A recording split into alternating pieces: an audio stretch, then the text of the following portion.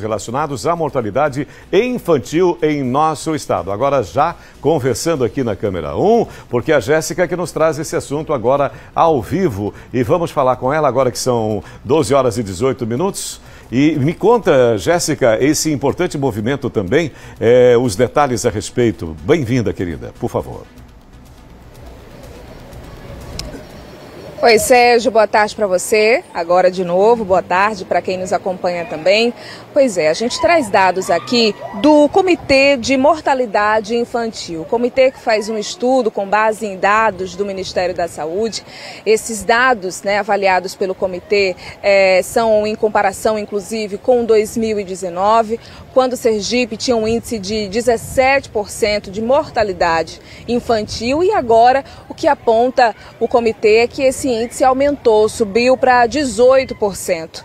Esse caso ele foi denunciado por algumas entidades, inclusive o Sindmed, né, questionando a saúde do Estado. E a gente está aqui com o diretor de Vigilância de Saúde da Secretaria de Estado da Saúde, doutor Marco Aurélio, para a gente repercutir esse assunto, na verdade, ter também explicações, né? Porque Sergipe é um estado considerado pequeno, até pela sua proporção, em comparação com outros no, no nosso país, e com um dado tão alarmante. Vocês também estão analisando, avaliando o que está acontecendo com as nossas crianças, doutor? Boa tarde. Boa tarde. Sim, o comitê, na realidade, né, ele é um órgão né, colegiado que envolve todos e que ele né, foi instituído pela Secretaria de Estado de Saúde, justamente para fazer esse acompanhamento. Então, a Secretaria de Saúde chama outros órgãos, sindicatos, Ministério Público, justamente para fazer essas análises detalhadas do comportamento, tanto da mortalidade infantil como mortalidade materna.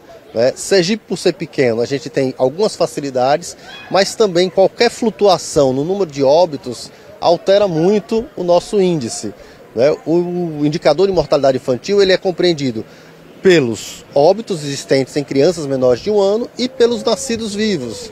Então a gente tem tido uma queda no número de nascidos vivos né? e tem tido um aumento, principalmente esse ano, devido à sazonalidade, né? isso foi visto por todos de crianças menores de um ano, principalmente aqueles menores de seis meses, por causa principalmente do vírus sensicial respiratório. Essa situação das crianças, ela está controlada? A gente tem ainda casos críticos internamento, inclusive UTIs? Não, agora a gente já saiu dessa fase crítica. A gente sabe que as crianças sempre são suscetíveis, por isso que precisam de um cuidado que começa com o pré-natal.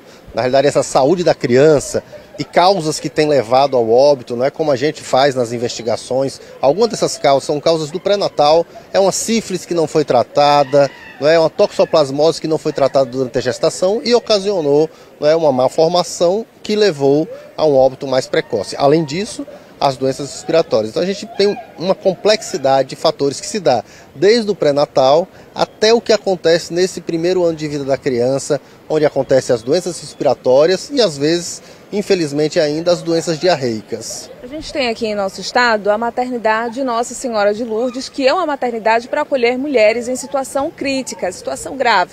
E essa mesma maternidade enfrentou uma situação delicada agora, inclusive de interdição ética. É, é, até que ponto isso pode prejudicar as nossas mães e influenciar também para esses índices, doutor? Então, é claro que a maternidade Nossa Senhora de Lourdes tem um papel fundamental aqui no estado.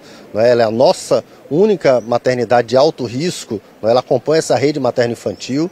Então, qualquer alteração que aconteça nela, isso causa um prejuízo na rede. Mas a gente não acha nenhuma ligação né, epidemiológica entre o aumento de interdição e o aumento de óbitos no estado. Né? Esse aumento de óbitos ele esteve muito relacionado à sazonalidade do vírus respiratório né? e a todas as questões aí ligadas tanto ao pré-natal como assistência a essas crianças com gravidade. Esse é o momento de reforçar então a vacinação das nossas crianças? Sim, assim, a gente tem doenças que estão voltando, né? a gente passou por um momento de implementação da vacinação, mas todas as vacinas estão disponíveis né, nos postos de saúde. Então é fundamental, o cuidado na criança se dá com pré-natal bem feito, né, com cuidado nesse primeiro ano de vida principalmente, e com a cobertura vacinal né, plena aí para que a gente tenha crianças saudáveis. Vai haver um reforço nesse sentido de conscientização dos pais? Sim, a reunião do comitê né, trouxe esse tema né, para discussão com a sociedade justamente por isso.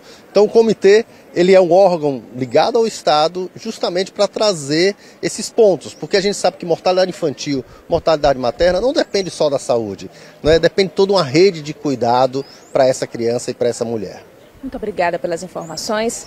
Sérgio, Importantíssima entrevista, né, Jéssica? Na medida que prevenção é tudo e também o zelo para com as crianças e essa atenção especial das mães. Muito obrigado sempre, doutor Marco Aurélio, tenho um grande carinho por ele e você também, Jéssica, muito obrigado. São 12 horas e 22 minutos.